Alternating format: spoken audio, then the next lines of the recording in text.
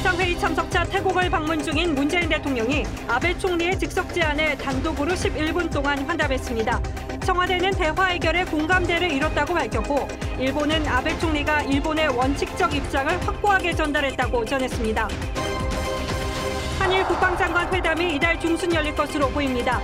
오는 22일 지소미아 말루시안을 앞둔 상황에서 열리는 이번 회담이 지소미아의 운명을 가릴 것으로 보입니다.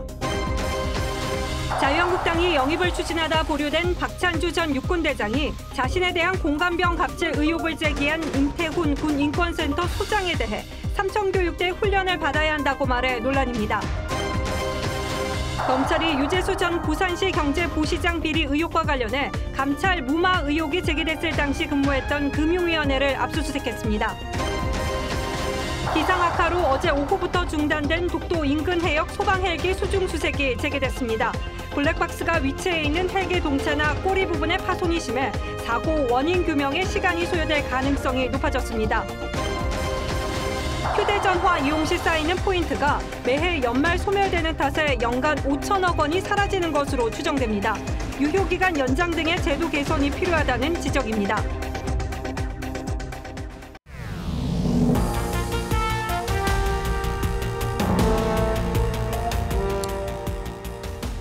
여러분 안녕하십니까 뉴스나인의 신동욱입니다. 태국에서 열리고 있는 아세안 플러스 한중일 회담에 참석 중인 문재인 대통령이 아베 일본 총리와 만났습니다.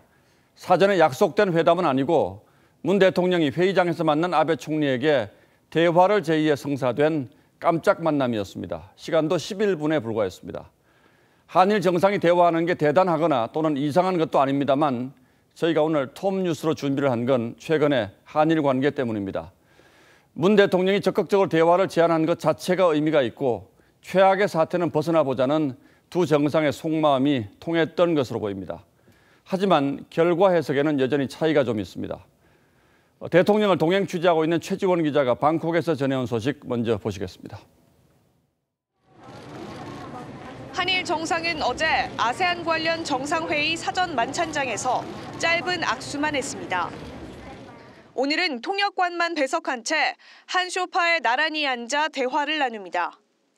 문재인 대통령이 회의장에 늦게 도착한 아베 신조 일본 총리를 자리로 이끌어 11분 동안 깜짝 환담이 이루어졌습니다. 한일 양국 관계의 현안은 대화를 통해 해결해야 한다는 원칙을 재확인했습니다. 청와대는 문 대통령이 고위급 회담 검토를 제안했고 아베 총리는 모든 가능한 방법으로 해결에 노력하자고 답했다고 했습니다.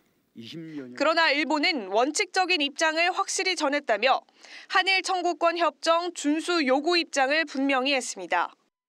고위급 협의는 외교 당국자 간 협의로 가능한 모든 방법은 기존과 같은 방법으로 발언의 수위도 낮췄습니다. 우호적인 분위기였다는 청와대 평가에 일본 외무성 측은 답하지 않겠다며 한국 측에 물어보라고 했습니다. 오늘 깜짝 환담은 문 대통령의 즉석 제안으로 성사돼 사진도 청와대 정의용 안보실장이 찍었습니다. 문 대통령의 적극적인 대일 대화 노력이 일본의 이해보다는 미국의 중재를 겨냥했다는 해석이 나옵니다. 태국 방콕에서 TV조선 최지원입니다. 정부의 이런 움직임은 지소미아 즉 한일 군사 정보 협정이 오는 22일 만료된다는 사실과도 맞물려 있습니다.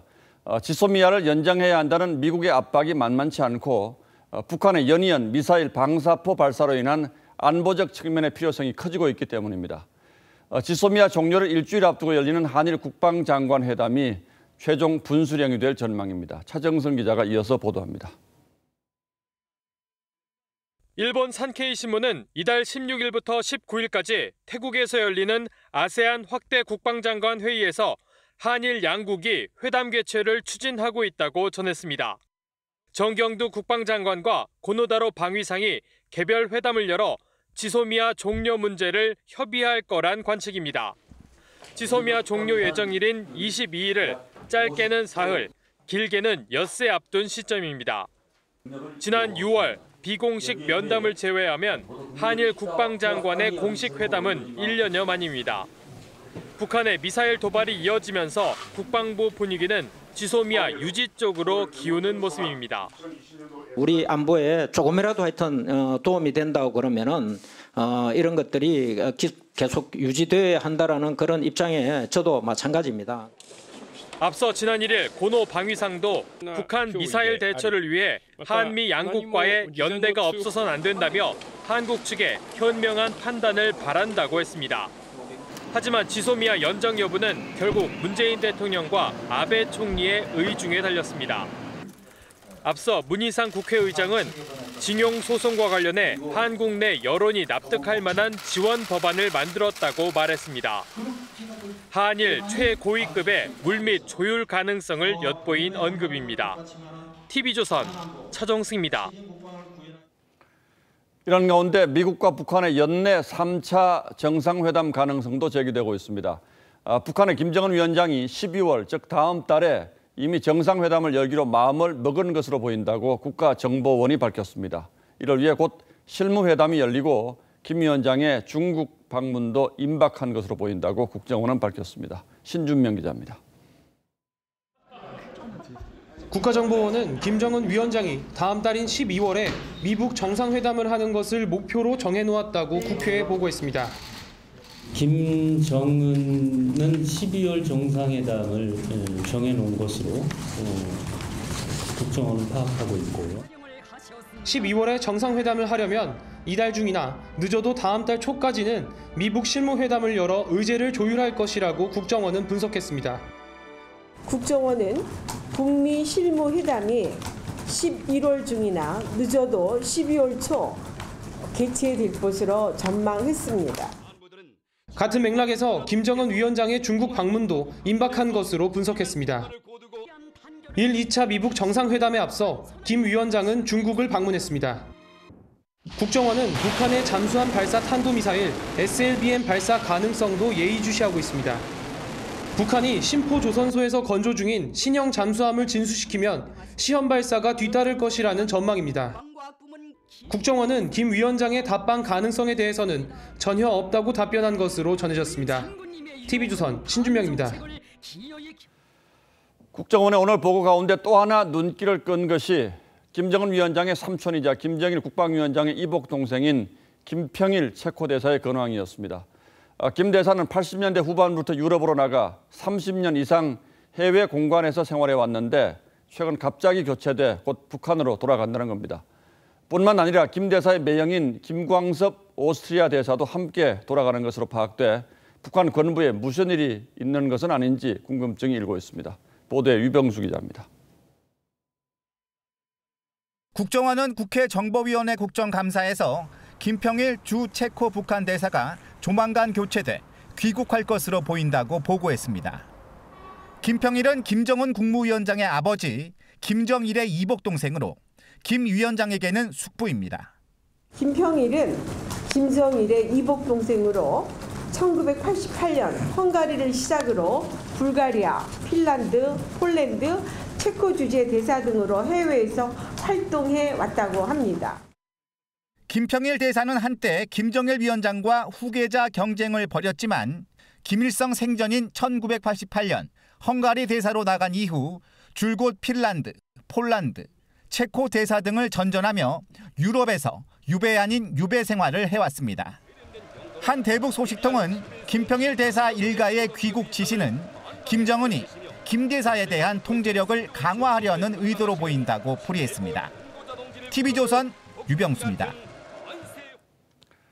정의용 청와대 안보실장이 지난주 국회에 출석해서 북한은 이동식 발사대에서 ICBM을 쏠 능력이 없다라고 말하는 바 있습니다. 어, 그런데 오늘 국회에 나온 정경두 국방장관은 어, 정 실장의 이 발언을 감싸기 위해서 노력하다가 결국 그렇지 않다. 북한은 이미 이동식 발사대를 사용한 적이 있다고 말을 바꿨습니다. 국정원장도 마찬가지였죠.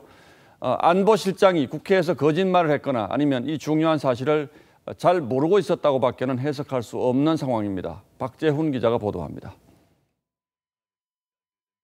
저희가 볼 때는 ICBM은 텔로 발사하기는 어렵습니다. 기술적으로. 청와대 정의용 안보실장의 이 발언을 감싸려 정경두 국방장관이 국회에서 안간 힘을 썼습니다. 약간 이 이해의 차이가 있을 수 있다. 저는 그렇게 생각합니다. 북한이 이동식 발사대에서 대륙간 탄도미사일을 쏘았냐고 의원들이 거듭 해 묻자 초점을 흐리기도 합니다. 이동식 발사대다, 고정식 발사대다 그런 부분을 떠나가지고 어, 북한의 군사적인 움직임에 대해서는 정말 그 하나하나 그 빠뜨리지 않도록 면밀하게 그 항상 동향을 감시하고 있고 의원들의 질타는 이어졌고 우리 군에서도 그에 대해서 다 대비를 하고 왔는데 갑작스럽게 그래 이게 안 된다고 얘기한다면 이게 지금 NSC가 이건 제정신을 가지고 있는 겁니까? 정 장관은 결국 북한의 이동식 발사대 이용 사실을 시인했습니다. 지상 그 고정식 발사대나 지지대나 이런 것들을 우- 사용을 해서 어, 발사를 했다. 기본 팩트도 모르고 한심한 청와대 참모들 때문에 대통령이 실수한다는 거예요. 서훈 국정원장도 국회 국정감사에서 이동식 발사대에서 ICBM을 쏘고 일정 지점에 가서 다시 발사대를 거치하고 ICBM을 발사할 수 있다며 결국은 이동식 발사라는 견해를 밝혔습니다. 안보실장이 이동식 발사대의 개념을 제대로 알고 있지 못해 벌어진 논란이라는 지적도 나옵니다. 탄도미사일을 임의의 지점으로 이동시켜서 직립을 시키고 발사 준비를 마치면 이동식 발사대의 역할이 끝나는 겁니다. TV조선 박지훈입니다. 자유한국당 1차 영입 인사로 거론되다가 막판에 영입이 보류된 박찬주 전 육군대장이 오늘 어, 자신의 문제와 관련한 해명 기자회견을 자청해서 열었습니다. 어, 그런데 해명보다 발언 여러 대목이 오히려 논란을 키웠습니다. 어, 이른바 공관병 갑질 의혹을 제기한 임태훈 군 인권센터 소장을 향해 어, 삼청 교육대에 보내야 한다고 한 말이 특히 논란입니다. 어, 자유한국당 입당에 대해서는 여전히 강한 의지를 보였습니다. 김정우 기자가 보도합니다. 공관병 갑질 의혹을 해명하고 총선 출마 의지를 밝히려던 박찬주 전 대장의 기자회견은 또 다른 논란을 낳았습니다. 박 전 대장은 공관병 갑질 의혹을 제기한 임태훈 군 인권센터 소장을 무고죄로 고발하겠다며 삼청교육대에 보내야 한다고 말했습니다. 제가 신뢰되는 말씀인지 모르지만 군 인권센터 소장은 삼청교육대 한번 교육을 받아야 좀 되지 않는 사람인가 이런 생각도 갖고 있습니다. 공관병 갑질 의혹에 과장된 것이 많다며 사회 통념상 그 정도는 인정해줘야 한다고도 말했습니다. 임태훈 소장은 박 전 대장의 삼청 교육대 발언에 봐주면 안 되겠다며 군인연금이 박탈됐으면 한다고 했습니다. 박찬주 전 대장은 자신을 정치로 불러낸 건 황교안 대표가 아니라 문재인 대통령이라며 우리 군이 민병대 수준으로 전락했다고 말했습니다. 이런 강군이 2년 반 만에 스스로 민병대라고 한탄할 정도로 전락했다는 것은 이것은 정말 어, 가슴 아픈 일입니다. 국가에 헌신하고 있는 우리 장병들 그리고 군 가족들에 대한 어, 굉장히 예? 예, 폄하하는 발언이다. 황교안 대표는 구체적인 언급을 자제했습니다. 내용을 정확하게 파악한다는 말씀을 드리겠습니다. TV조선 김종우입니다. 더불어민주당은 의원총회를 열었는데 당 지도부가 책임을 져야 한다든지 쇄신을 하자는 목소리는 쑥 들어갔습니다. 어, 대신 이해찬 대표는 안정적인 당 운영을 강조했고 총선 기획단도 출범시켰습니다. 공천을 앞두고 있어서인지 현역 의원들이 말조심하는 분위기가 느껴졌다고 합니다. 서주민 기자가 취재했습니다. 조국 사태를 거치며 불거진 이해찬 대표 책임 문제를 논의하려던 민주당 의원총회의 결론은 질서 있는 쇄신이었습니다. 질서 있는 쇄신이 필요하다 그런 얘기들을 좀 하셨고 음, 그래서 경고음이 있을 때 제대로 알아듣고 잘못한 게 있는데 침묵의 카르텔을 형성하고 있다. 성찰을 제대로 하지 않으면 안 된다. 경고음이 있을 때 쇄신해야 한다 등의 발언이 나왔지만 지도부를 겨냥한 쓴소리는 나오지 않았습니다. 의총이 여러 차례 연기됐고 이 대표가 이미 공개적으로 사과한 데다 조국 사태 이후 한국당의 실수가 잇따르면서 당 지지율이 반등 기미를 보이는 것도 당내 비판의 소지를 줄였습니다. 이해찬 대표는 많은 어려움이 있었고 마음도 괴로웠다면서도 총선 체제로의 국면 전환을 선언했습니다. 우리 당이 12년 만에 집권 여당을 거치는 첫 선거입니다. 어느 때보다도 그동안에 당을 잘 준비를 했습니다. 민주당은 또 윤호중 사무총장을 단장으로 하는 총선 기획단도 출범시켰습니다. 양정철 민주연구원장과 당에 쓴소리를 해왔던 금태섭 의원, 프로게이머 출신 사회운동가 황희두 씨 등이 기획단 명단에 포함됐습니다. TV조선 서주민입니다. 유재수 전 부산 부시장에 대한 검찰 수사는 감찰 무마 의혹 쪽으로 속도를 내고 있습니다. 오늘은 유 전 부시장이 근무했던 금융위원회와 유착 의혹을 받고 있는 업체 두 곳을 추가로 검찰이 압수수색했습니다. 이태영 기자가 보도합니다. 양복을 입은 수사관들이 정부 서울청사 안에 위치한 금융위원회로 들어갑니다. 유재수 전 부산시 경제부 시장에 대한 청와대 감찰 중단 의혹을 수사 중인 검찰이 오늘 오전부터 금융위원회 사무실을 압수수색했습니다. 검찰은 유재수 전 부시장이 금융정책국장으로 근무할 당시 사용하던 컴퓨터 하드디스크와 업무자료 확보에 주력했습니다. 검찰은 유 전 부시장과 유착 의혹이 있는 업체 두 곳도 압수수색한 것으로 전해집니다. 지난달 30일 대보건설 본사 등 4개 업체를 압수수색한 지 닷새 만입니다. 유 전 부시장은 2017년 금융정책국장 당시 각종 비위 의혹으로 청와대 민정수석실 특감반에 감찰을 받았습니다. 하지만 징계 조치 없이 부산시 경제부시장으로 자리를 옮겼다가 최근 검찰이 업체들을 압수수색하자 다음 날 사의를 표명했습니다.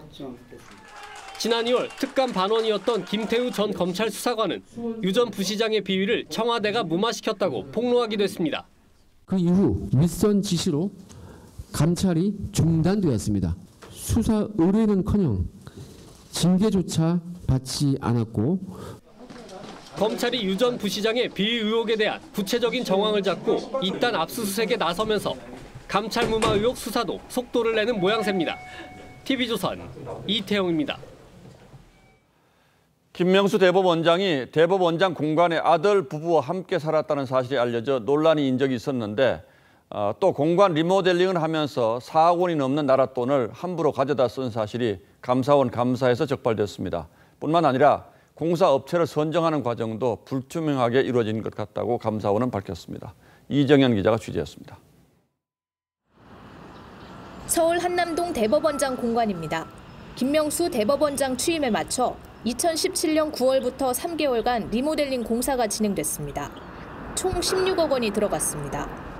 국회와 기획예산처는 10억 원 미만으로 하라고 예산을 깎았습니다.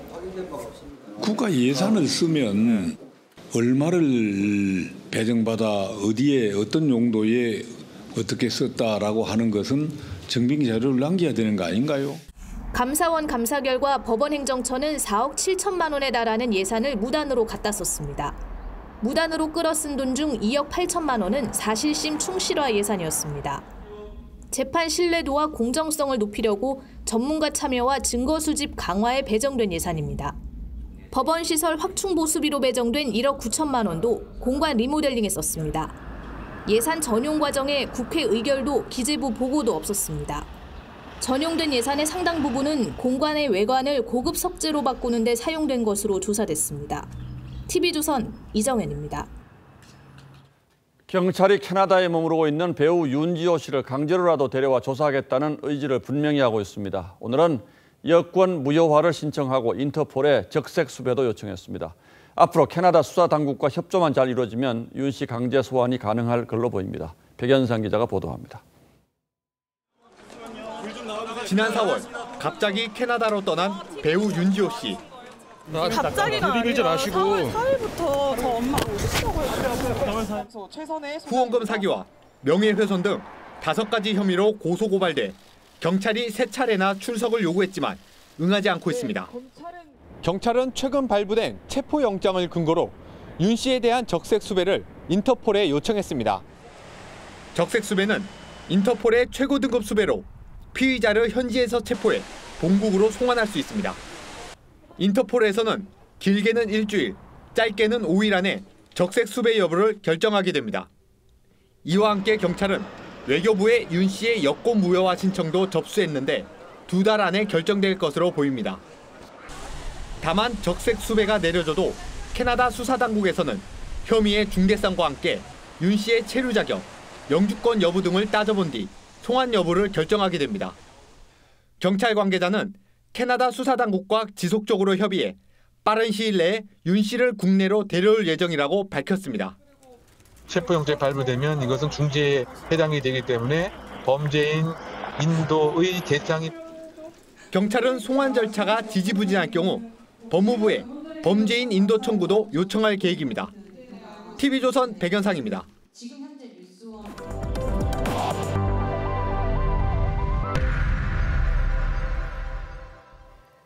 독도 앞바다에서 추락한 소방 헬기 소식 이어갑니다.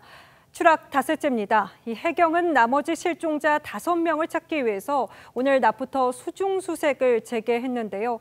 울릉도에 나가 있는 취재기자 연결합니다. 자, 유성현 기자, 사고 원인 규명을 위해서는 블랙박스 확보가 시급한데 오늘 수색에서 블랙박스 위치가 확인됐다면서요? 네, 해경은 오늘 기존에 발견한 헬기 꼬리 동체에서 블랙박스를 확인했습니다.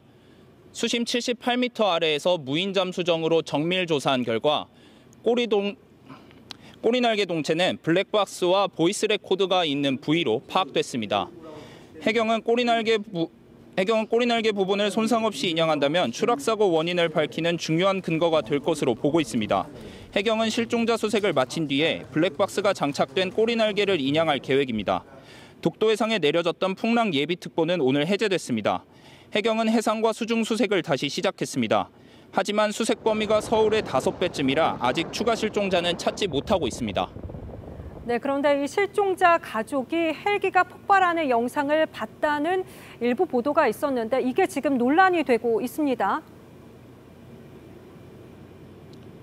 네, 오늘 일부 언론에서 실종자 가족들이 폭발음과 불꽃이인 뒤 헬기가 추락하는 영상을 봤다는 보도가 나왔습니다. 하지만 해경은 부인했습니다. KBS에서 받은 영상에는 이륙 장면만 있고 추락하는 장면은 없다고 밝혔습니다. 또 관련 영상을 실종자 가족에게 제공하지 않았다고 해명했습니다. 지금까지 울릉도에서 TV조선 유성현입니다. KBS는 독도 헬기 사고의 이륙 영상을 확보했지만 이를 숨기고 경찰의 요청에도 제공하지 않은 것을 두고 비판이 거셉니다. KBS가 사과를 담은 장문의 입장문을 내놨지만 실종자 가족들은 비판을 거두지 않고 있습니다. 그 해명이 석연치 않기 때문이겠죠. 또다시 논란에 휩싸인 공영방송 KBS에 오늘의 포커스를 맞췄습니다. 독도에서 소방 헬기가 추락한 지 닷새째.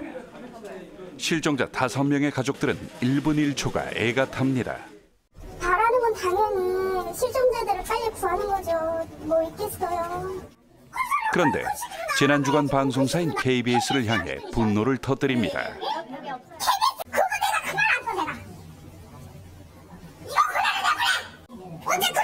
KBS 가 독도 경비대에 사고 영상 제공 요청에 협조하지 않은 사실이 드러나면서죠. 제대로 출퇴하고 이제 구조하는 데는 어느 방향으로 날아갔는지 더 정확히 한번 확인해 보려고 자료를 요구를 했는데 그분이 없다. 난 안 찍었다. 착륙할 때까지밖에 안 찍었다 하면서. KBS는 지난 2일 헬기 이륙 영상을 확보했다며 9시 뉴스 첫 기사로 이 영상을 보도했습니다. 현재 뉴스에 나오는 게 또 KBS에는 보내줬다 하는 자료지만 그 어제 뉴스 나오는 그게 전부가 아니었고 일부만 보내주는 거고. KBS는 일부 영상을 누락해 제공하고 보도 과정에서 이를 확인하지 못해 깊이 사과드린다고 했지만 자사 보도 욕심에 국민의 재난 상황에 눈 감았다는 비판이 거셉니다. 저런 방송이 과연 공영방송이냐. 세금과 같은 그런 수신료를 내고 저들의 월급을 줘야 되느냐 지난 4월 축구장 면적의 720여 배를 태운 강원도 고성 산불. 불씨가 여, 불씨가 여기까지 날려. 당시 KBS는 강릉에 있는 기자를 90여 킬로미터 떨어진 고성 화재 현장에 있는 것처럼 허위 중계해 관계 당국의 중징계를 받았죠. 지난 2년 동안 KBS가 재난 방송을 50분 이상 지연한 건 35건. KBS는 10시 53분 내야 이제 첫 어, 특보를 송출하게 되고 그것도 어, 한 어, 10여 분 만에 다시 중단하고 어, 정규 방송인 오늘 밤 김재동을 양승동 KBS 사장은 재난 방송에 만전을 다하겠다고 약속했지만 고성 산불 재난 방송에서 미흡한 부분이 있었습니다만 이후 전사적으로 TF를 구성해 매뉴얼을 보강하고 시스템을 강화했습니다. 이번에 또 신뢰도에 흠집을 남겼습니다. 동해를 일본해, 백두산을 창바이산으로 표기하고 일장기의 야당 로고를 합성한 사건. 최근엔 유시민 노무현 재단 이사장이 조국 전 장관 취재와 관련해 외압을 행사했고 이에 양승동 사장이 굴복한 게 아니냐는 의혹으로 KBS가 큰 진통을 겪었죠. 제가 사장이면요 다 보직 해임이에요 이거는. 공영방송이란 이유로 KBS는 국민들 전기요금에서 매년 수신료 6천억 원을 걷어가죠. 그만큼 공영방송에 제 역할을 하고 있는 걸까요? 뉴스라인 포커스였습니다. 지난주 서울에서 월드 투어 마지막 콘서트를 가진 방탄소년단 멤버 정국이 교통사고를 내서 경찰이 조사하고 있습니다. 이 소속사 측은 본인의 착오로 사고가 났다고 말하고 있는데 경찰은 피의 사실 공표를 우려해서 구체적 언급을 피하고 있습니다. 배상윤 기자입니다.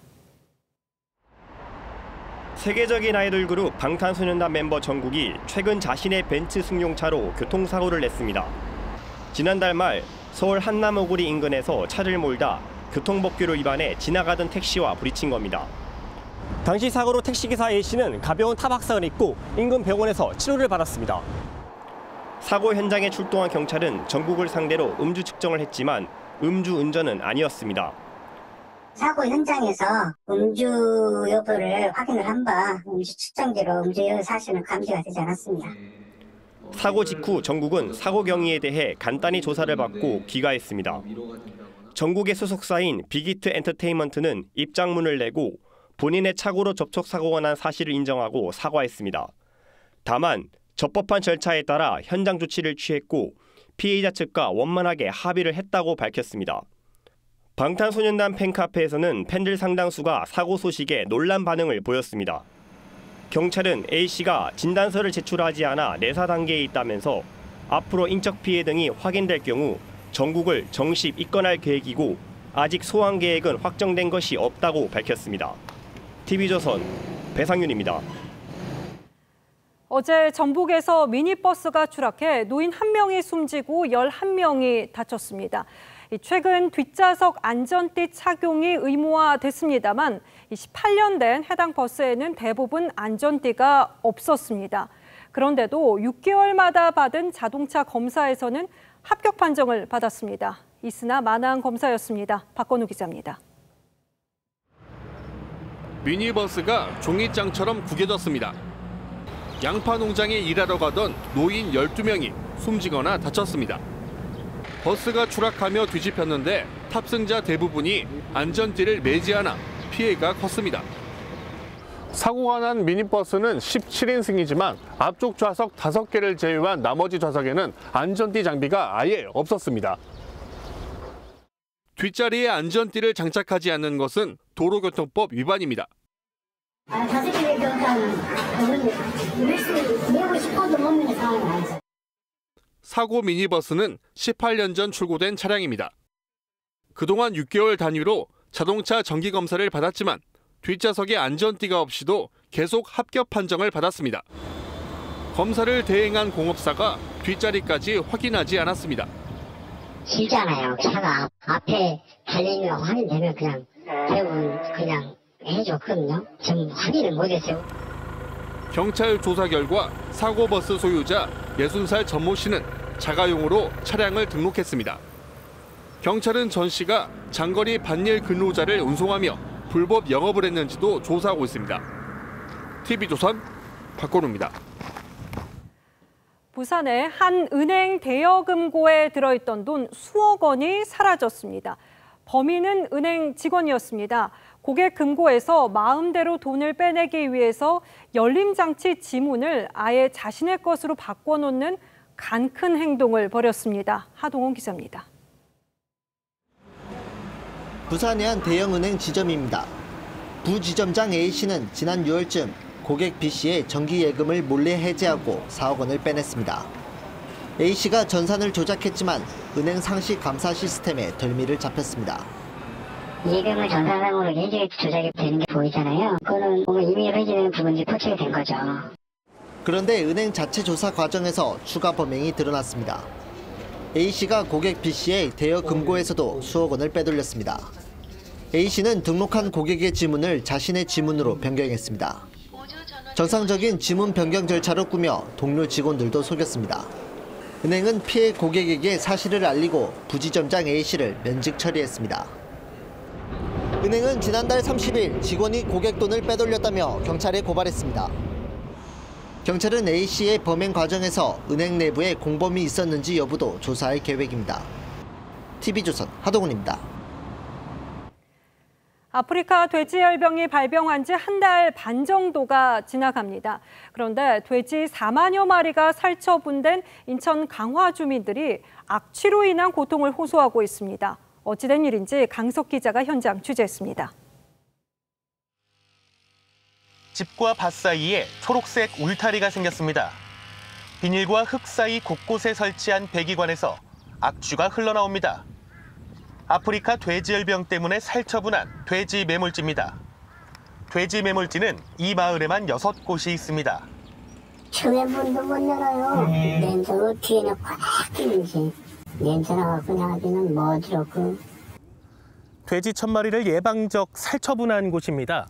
매몰한 지 한 달 정도가 지났는데 여전히 악취가 나고 있습니다. 악취 정도가 어느 정도인지 측정해 보겠습니다. 악취 농도를 측정한 두 곳 가운데 한 곳은 기준치의 두 배, 다른 곳은 여섯 배가 넘었습니다. 굉장히 좀 심한 편이고 그다음에 이제 보시다시피 주거 지역이 인접해 있기 때문에 매몰지 두 곳 모두 주택에서 15m밖에 떨어져 있지 않습니다. 최소 30m 떨어진 곳에 매몰하도록 한 정부의 지침도 위반했습니다. 매몰지 규정을 어긴 곳은 강화와 김포에만 여섯 곳으로 드러났습니다. 갑자기 많이 먹다 보니까 이제 그러니까요. 예로가 생겨서 예. 비닐이 좀 많이 들어오고 있는데 정부는 정밀 검사에서 음성 판정을 받은 매몰지는 장소를 옮기는 방안을 검토하고 있습니다. TV조선 강석입니다.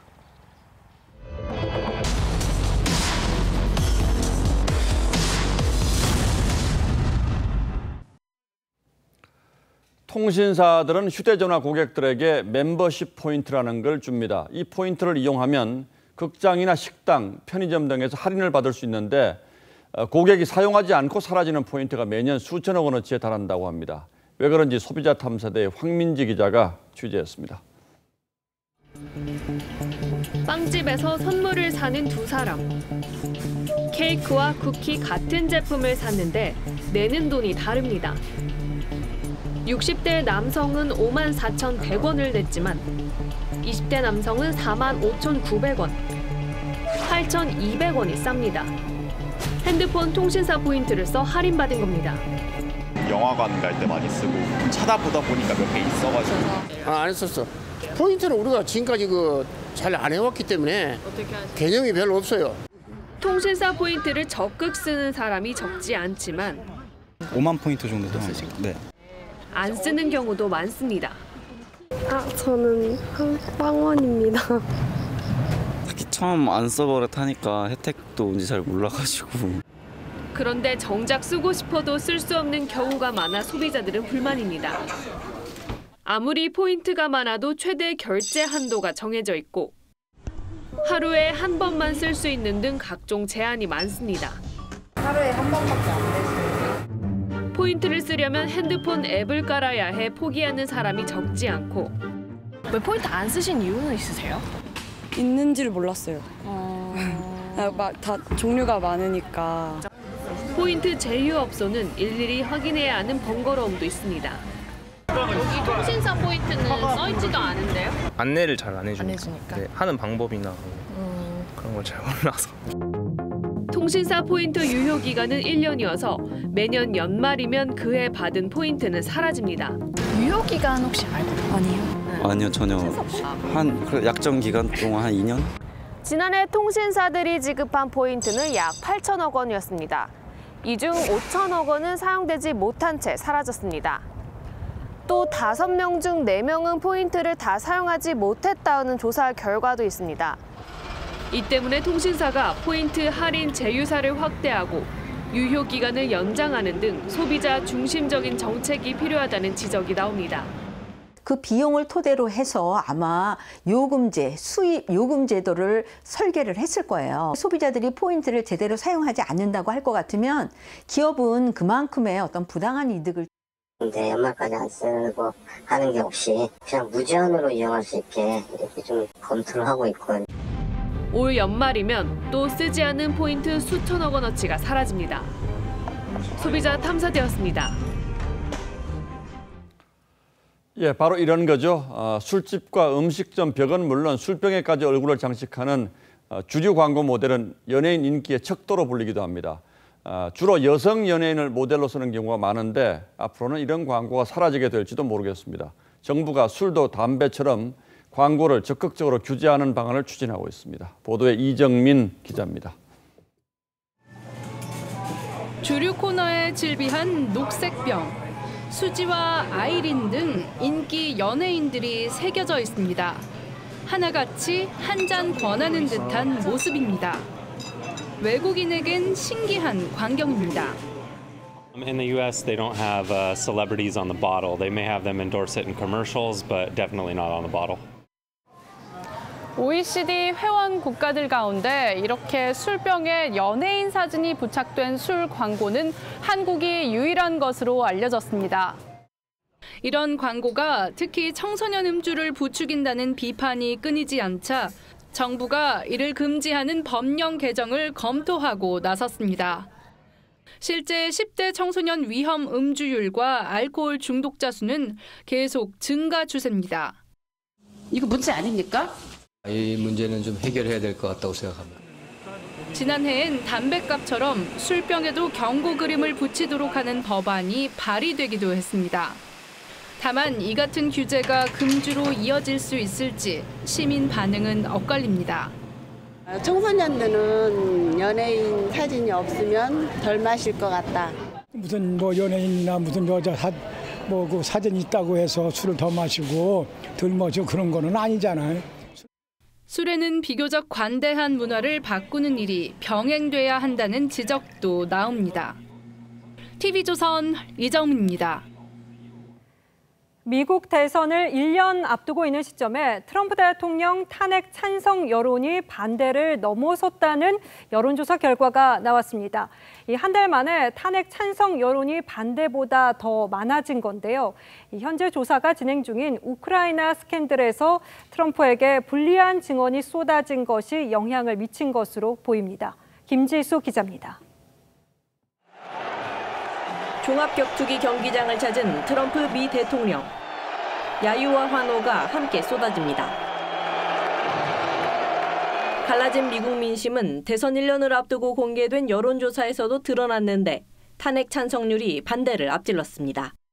about as divided uh, politically as it has been in, in half a century. We are seeing just extreme polarization in views of President Trump. 탄핵 조사를 촉발한 건 트럼프가 우크라이나 대통령에게 민주당 대선 후보의 비리 조사를 압박했다는 이른바 우크라이나 스캔들. 트럼프는 내부 고발자의 신원을 밝히라고 요구했습니다. The whistleblower should be revealed because the whistleblower gave false story. 민주당이 추진하는 탄핵 조사는 사기라고 비난했습니다. You know, it's a whole scam. It's an impeachment scam. And you know what it is? It's between the Democrats and the fake news media. 우크라이나 스캔들이 1년 남은 미 대선의 가장 큰 변수로 떠올랐습니다. TV조선 김지수입니다. 인도의 수도 뉴델리가 겨울을 앞두고 또다시 가스실을 이렇게 방불케 하고 있습니다. 대기 오염 때문인데요. 학교는 문을 닫고 비행기는 회항에 잇따르고 있습니다. 타지마할에는 외벽 오염을 막기 위해서 공기청정 차량이 배치됐습니다. 유지연 기자입니다. 인도 뉴델리 전체가 희뿌연 스모그에 휩싸였습니다. 먼지가 가득한 대통령궁 앞으로 군인들이 행진하고 거리를 지나는 시민들도 모두 마스크를 썼습니다. 뉴델리 초미세먼지 농도는 WHO 기준 40배에 육박해 가스실이란 표현이 등장할 정도입니다. पोल्यूशन की वजह से आँखों में काफ़ी जलन हो रही काफ़ी और अ, सांस लेने में थोड़ी दिक्कत हो रही गले में पूरा वो यहाँ से यहाँ पे भी दिक्कत है गले के अंदर पूरा 인디라 간디 국제공항에선 지하 확보가 안 돼 37개 항공편이 우회했고 비행편 취소가 이어지고 있습니다. 주 전체 학교에 휴교령이 내려지고 방진 마스크 500만 개가 학생들에게 배포됐습니다. 타지마할 앞에도 첨단 공기청정 차량이 긴급 배치된 것으로 전해졌습니다. 뉴델리는 겨울마다 최악의 스모그로 몸살을 앓고 있습니다. 농작물 소각에 자동차 매연과 난방, 공사 먼지 등이 더해지면서 인도는 최악의 오염 도시 15곳 가운데 14곳을 보유하는 불명예를 안았습니다. TV조선 유지현입니다. 쌀 소비 문화가 달라지고 있습니다. 1인 가구와 2030층을 겨냥해서 소량 포장, 고급화는 기본이고 쌀집이 아니라 갤러리인 듯 책방인 듯 공간의 변화도 시도하고 있습니다. 어떤 모습인지 이루라 기자가 소개합니다. 은은하게 들리는 재즈를 배경으로 책을 보는 여성. 그런데 고객이 사러 온 건 책이 아닙니다. 사각형 모양의 소포장된 쌀이 군데군데 진열돼 있는 이곳. 혼자 드실 경우에는 이제 300g이 굉장히 좋을 것 같습니다. 쌀가게입니다. 그림과 책으로 갤러리 같은 분위기를 내고 1, 2인용 소량을 세련된 포장지에 담아 젊은 층에게 구매욕을 자극합니다. 자취를 하다 보니 쌀을 조금씩밖에 안 먹고 집에서 밥을 많이 안 먹는데 이제 이렇게 조금씩 포장이 되어 있는 게 되게 편리하더라고요. 국내 쌀 소비량은 감소세지만 가정 간편식을 중심으로 쌀 소비가 늘면서 제대로 된 한 끼를 위한 밥 문화가 확산 중입니다. 그러다 보니 쌀의 고급화는 자연스러운 현상. 한쪽에 진열된 쌀의 품종만 10여 종에 달합니다. 이거 보니까 가격이 굉장히 비싸요. 우리나라의 아주 토종벼입니다. 아, 그래서 수확하기가 굉장히 좀 어려워. 품종의 다양화로 쌀을 전문적으로 연구하는 밥 소믈리에가 등장하기도 했습니다. 가족 구성은 수가 작다 보니까 점점 작은 세- 양, 종량을 선호하게 되고 또 인터넷 통해 가서 예- 웬만한 지식들이 좀 보급이 되지 않습니까? 쌀에 관한 소소한 지식들이 젊은 층들 중심으로 많이 알게 돼 이제 쌀도 커피처럼 기호, 취향을 따라가는 시대가 되고 있습니다. TV조선 이루랍니다.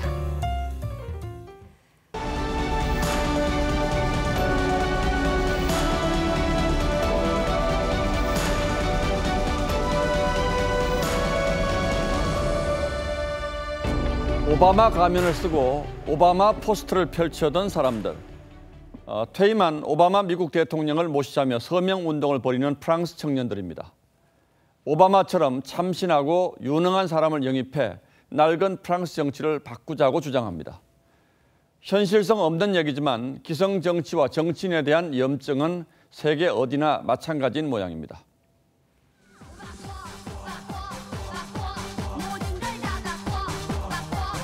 이 노래가 우리 선거 때마다 인기 로고송이 된 것도 물갈이를 원하는 민심을 반영합니다. 바꿔라, 바꿔라, 다 바꿔라. 이번이 아니면 못 바꾸니. 드라마 대장금 주제곡을 개세한 물갈이송이 등장한 2004년 총선에서는 당선자 5명 가운데 3명이 정치 신인 초선이었습니다. 노무현 대통령 탄핵 역풍을 타고 초민의 여당이었던 열린우리당이 단숨에 과반 정당으로 올라섰죠. 당시 한나라당은 개헌 저지선 100석을 목표로 잡았을 정도로 참패를 각오했습니다만 121석으로 선전했습니다. 최병렬 당시 대표까지 불출마하며 현역 의원 다섯 중 둘을 교체한 덕분이었습니다. 지금 한국당의 처지는 그때보다 훨씬 더 절박합니다. 하지만 탄핵 이후 총선을 앞두기까지 뭐가 바뀌었는지 잘 보이지가 않습니다. 여당도 중요합니다만 야당이 건강해야 국가가 올바른 길로 갈 수 있습니다. 그런 점에서 민심은 자유한국당의 해체에 가까운 쇄신과 개혁을 원하고 있습니다. 하지만 조국 낙마 이후 자유한국당에서 벌어지고 있는 일들을 보면 한숨이 절로 납니다. 초선 의원까지 불출마 선언이 이어지고 있는 민주당과 달리 한국당은 일찌감치 불출마 의사를 밝혔던 의원들까지 잇따라 말을 바꾸고 있다고 합니다. 민주당은 현역 의원 넷 중 한 명을 교체하는 태풍급 물갈이를 예고하는데 한국당은 단 몇 사람 영입하면서도 벌써 삐걱대고 있습니다. 그 결과 청와대가 가져다 바치고 국민이 뒤에서 밀어올려준 당 지지율이 조국 사태 이전으로 돌아갔습니다. 필리핀 이주 여성 출신 이 자스민 전 의원이 한국당을 떠나 정의당으로 간 것도 한국당으로서는 아픈 대목입니다. 한국당에서 왕따를 당해 외롭고 힘들었다는 얘기까지 들려오는 걸 보면 문재인 대통령이 야당복은 타고났다는 한 정치인의 말이 그리 틀리지 않은 것 같습니다. 11월 4일 앵커의 시선은 대통령의 야당복이었습니다. 오늘은 미세먼지도 물러나고 청명한 가을 하늘이 드러났죠. 마음까지 즐거워지는 날씨였는데요. 당분간 오늘처럼 하늘 표정이 계속 좋겠습니다. 내일 세차하시면 일요일 전까지는 깨끗하게 유지할 수 있겠네요. 또 오늘은 햇살이 매우 따스했는데요. 주 후반으로 갈수록 기온이 떨어지겠습니다. 특히 금요일은 서울의 아침 기온이 3도를 기록하면서 올가을 들어 가장 추운 날이 될 수 있으니까요. 따뜻한 코트 미리 준비해 놓으시는 게 좋겠습니다. 남부 지역은 오늘 밤까지 소나기가 오겠고 제주도는 내일 새벽까지 비가 내리겠습니다. 기온은 오늘과 비슷하거나 약간 낮겠는데요. 서울의 한낮 기온 18도, 대전 19도, 대구는 20도가 되겠습니다. 바다의 물결은 제주 해상을 중심으로 약간 높게 일겠습니다. 날씨였습니다. 예, 월요일 뉴스나인은 여기서 모두 마치겠습니다. 네, 시청해주신 여러분 고맙습니다.